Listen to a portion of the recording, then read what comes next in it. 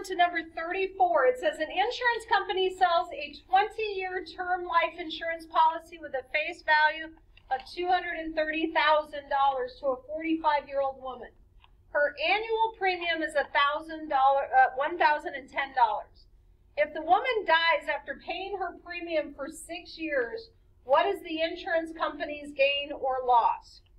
So the way insurance works is if you purchase this insurance, so like in this case, this woman purchased a 20 year term life insurance. If she dies anytime in those 20 years, then her beneficiaries will receive the $230,000. So here it says that she died after six years. So she paid $1,010 every year for six years, meaning that in those six years she spent $6,060 for this policy. But then she died, and so the insurance company paid out the $2,030. We have to subtract what she paid into it, and we see that the insurance company actually lost money to the tune of $223,000 $940.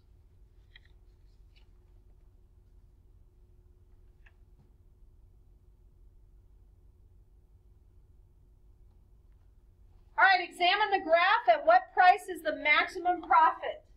Okay, right here is my profit line. This is profit, and this is So it's asking at what point is the profit as at its maximum? Well, the higher you go, that's a maximum there. And so if we look and go straight down here, where it's at its maximum is $24. And that would be our answer here. Its maximum profit will be if they charge $24 for this product. All right, it says, what is the four-day SMA for the following closing prices? So what we're doing here is finding a lot of averages. The first that we're going to do is we're going to take the first four values. Why? Because it said it's a four-day SMA. We're going to say 58 plus 60 plus 52 plus 87, and we're going to find the average. So we're going to add those together and divide by 4. We end up with 64.25. The next thing that we're going to do is we're going to cross out the first one and we're going to do the second through the fifth. So we do 60 plus 52 plus 87 plus 59 and we divide it by 4. And we end up there with 6450.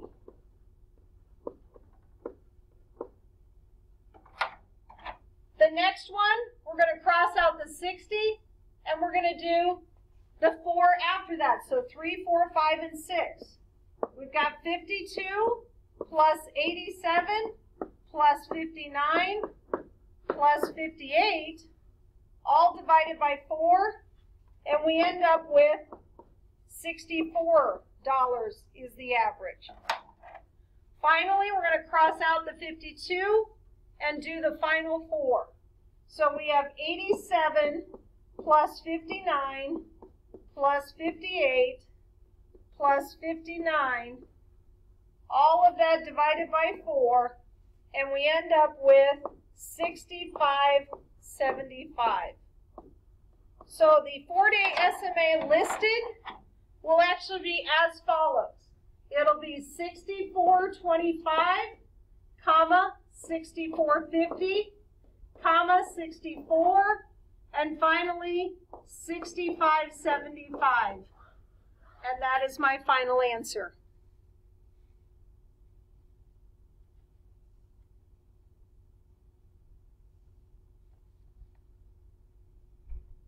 All right, number 37, it says, Don opened a retirement account with an APR of 5.25, compounded monthly, and he's going to retire in 20 years.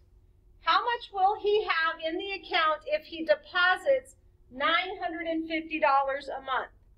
So this should take you back to Financial Math 1. We've done this before, and it is one of our formulas. It is our PIV formula. We're making multiple deposits, it's compounded, and it wants to know a future value.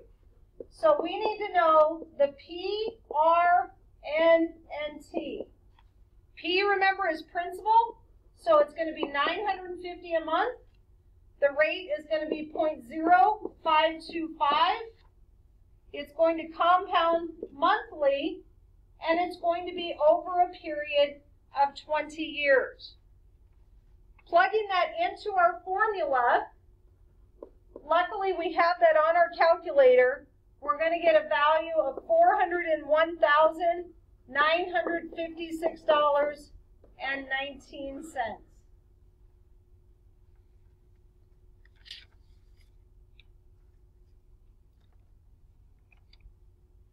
All right, we have three more to go. Sahim has $30,000 in property damage insurance, 10,000 in comp and collision, with a $250 deductible. One evening, he slides on a patch of ice and his car um, hits a patch of ice, hits a parked car, causes 75 $100 worth of damage to that other car. It also causes damage to his car of $2,750.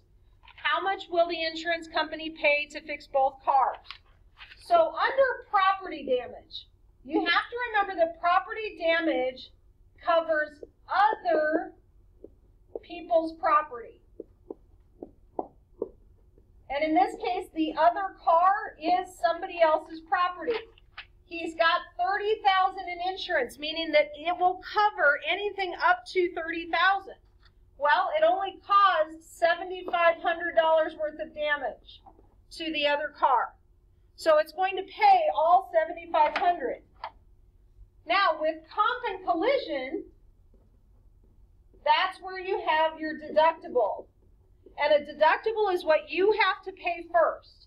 So in this case, we've got $2,750 worth of damage to his car, but there is a $250 deductible, so we have to take that out because he has to pay that, not the insurance company. And the insurance company will pay $2,500 of that.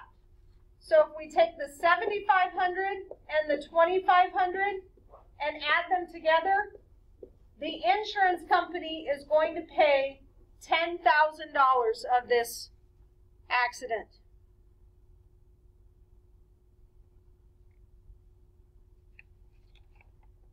All right, two more.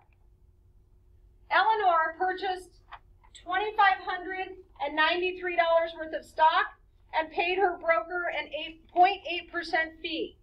When she sold it, the price increased by $31.48 and she was charged $9 for the trade. So the big thing here, you always need to know it's the sell minus the buy gives you your net profit or loss. If it's positive, it was a profit. If it's negative, it's a loss. So if we first look at the sell price, when she sold it, she got $3,148, but she had to pay a $9 fee. So she ended up with $3,139 as the sell price. Now when she bought it, she bought it at $25.93, but she had to pay a fee. So we're going to multiply this by 1.008. And why is it 1.008? First off, if I have 0.8%, I move it over twice. That's where I get the 0.008. And it's that plus the cost of the actual stock. So the cost of the stock is 100% of it, and if we convert that to a decimal, it's 1. So 1 plus 0.008 gives me 1.008. And when I multiply that value, I end up with two thousand six hundred thirteen dollars and seventy-four cents. So that's how much it cost me to purchase it. So I'm going to subtract that, and the difference is my net profit or loss. So in this case, I end up with a positive $525.26. So I had a $525.26 gain.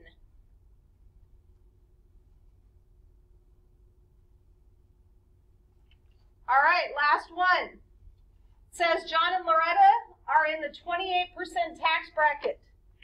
Their joint taxable income is $139,499. If the first 16,000 is taxed at 10% and the remainder at 28%, how much tax do they owe? So, we know that $16,050, if we multiply that by 10 cents, or 10%, it's 1,605. So we have 1,605, that's the first 16,050, plus it says 28% of the remainder. So we're going to take their total taxable income of the 139,499 and we're going to subtract out the 16,050. Why are we taking that out? Because we've already accounted for that first 16,050 in that 10% tax that we paid. When we multiply this through and add them together, we find that their taxes owed are $36,170.72.